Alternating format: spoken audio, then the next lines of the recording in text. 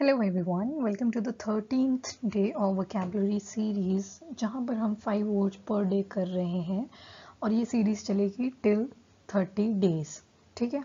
Sunday को आपको एक रिवीजन सीरीज़ भी मिलती है। होप आपको वो भी पसंद आ रही है। उसमें सारे वर्ड्स जो हैं वो कंबाइन करके उसका एक वीडियो लेक्चर डाल दिया गया होता है।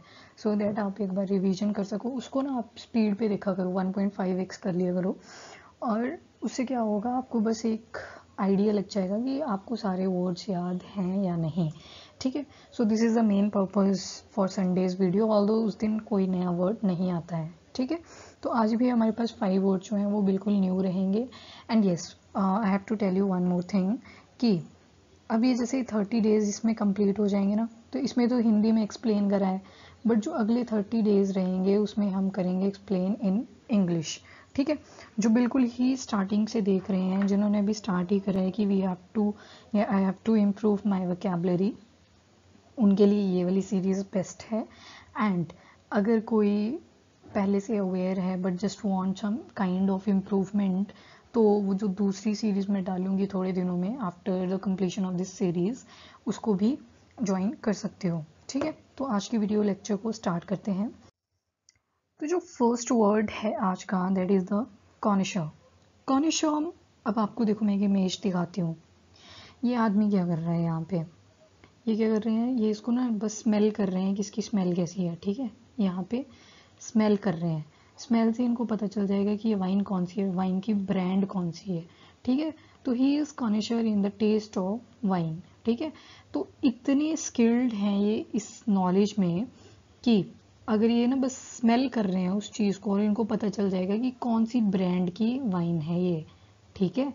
तो कोई भी पर्सन वाइन के लिए भी कोई स्किल्ड हो सकता है, कोई पढ़ाई में स्किल्ड हो सकता है, ठीक है? कोई पर्टिकुलर सब्जेक्ट में स्किल्ड हो सकता है, कोई पर्टिकुलर गेम में स्किल्ड हो सकता है।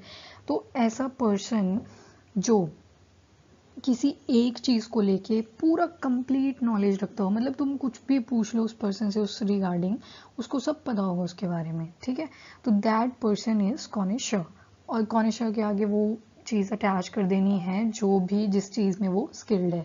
जैसे मैंने अगर इमेज के अकॉर्डिंग यहाँ पे एग्ज़ाम्पल रखा है that is he is connoisseur in wine taste तो बंदा सूंघ के बता दे रहा है आपको कि कौन सी वाइन की ब्रांड है ये? ठीक है? तो that kind of person who is very expert और स्किल्ड इन हिज और her subject that person is known as connoisseur then second word is malleable अब आपने मेलिएबल बहुत बार पढ़ा होगा मेलिएबल मेलिएबल का क्या मतलब होता है?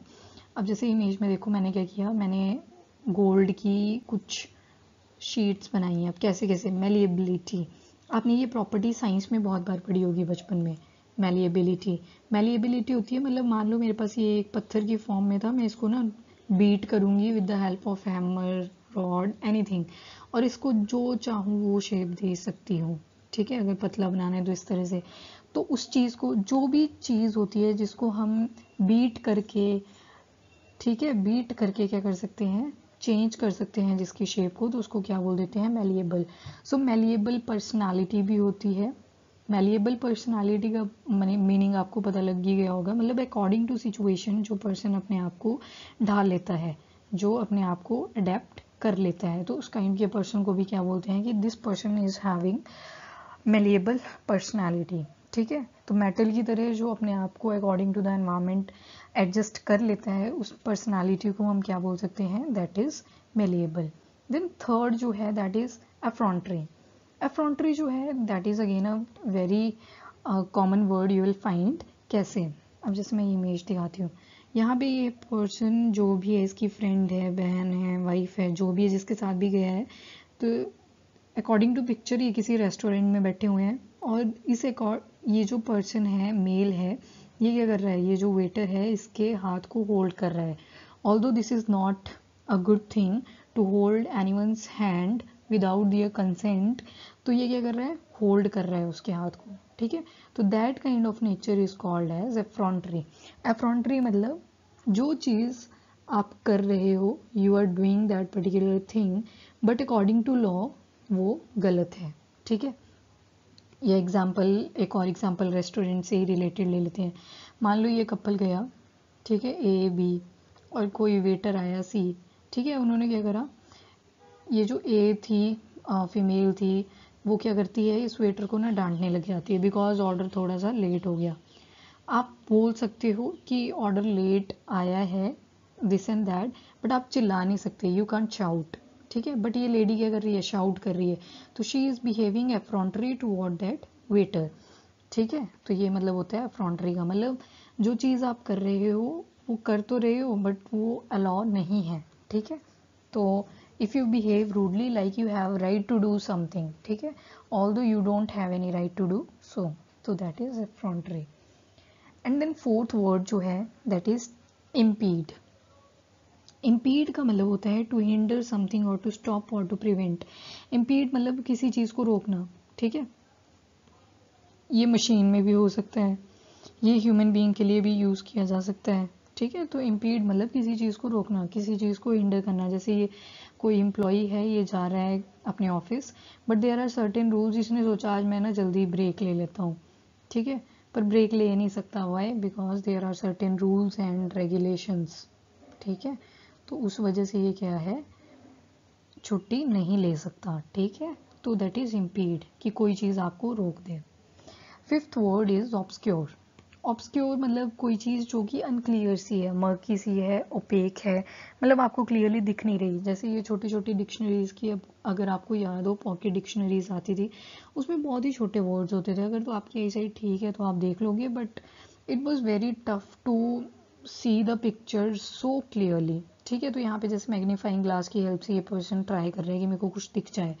तो that is called obscure obscure मतलब कोई चीज़ विच इज़ अनक्लियर चलो एक क्विक रिवीजन कर लेते हैं। फ़र्स्ट वर्ड जो था हमारे पास दैट इज़ अ कॉनिशियर कॉनिशियर मतलब ऐसा पर्सन जो किसी पर्टिकुलर फ़ील्ड में स्किल्ड है।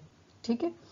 मेलिएबल मेलिएबल मतलब मेटल की तरह। जो पर्सन अपनी पर्सनालिटी को अकॉर्डिंग टू एनवायरमेंट चेंज कर लेता है तो उस पर्सन को हम क्या बोल सकते हैं? दैट इज़ मेलिएबल उसके बाद थर्ड वर्ड जो था दैट वाज एफ्रॉन्ट्री एफ्रॉन्ट्री का मतलब है कि आप बहुत रूडली बिहेव करते हो किसी जगह पे, जबकि आपको अलाउड नहीं है, आपको कोई राइट right नहीं है वहाँ पे रूडली बिहेव करने का। फिर है इम्पीड इम्पीड का मतलब होता है टू स्टॉप और टू प्रिवेंट किसी चीज़ को रोकना, किसी चीज़ को हिंडर करना दैट इज़ कॉल्ड इम्पीड फिर आता है ऑब्सक्योर ऑब्सक्योर मतलब कोई चीज़ जो कि वेग है अनक्लियर सी है मतलब आपको कोई क्लैरिटी नहीं है उस चीज़ को लेके। जैसे आपका गोल भी हो सकता है that can also be obscure when you don't know that would you have to do ahead ठीक है? तो that thing can also be obscure obscure मतलब uh, सिर्फ़ बुक्स के लिए ही नहीं है कोई भी चीज़ जो आपके लिए वेग है जिसमें आपको कोई नॉलेज नहीं हो रहा कि what what should I do in this thing ठीक है? जब आप डिसीज़न क्लियरली नहीं ले पा रहे तो that thing is obscure so this is all about the five words of the day I hope आपको वर्ड समझ आ गए होंगे. तो अगर वर्ड समझ समझ आ रहे हैं तो इनको नोट करते रहो. Till then bye take care thank you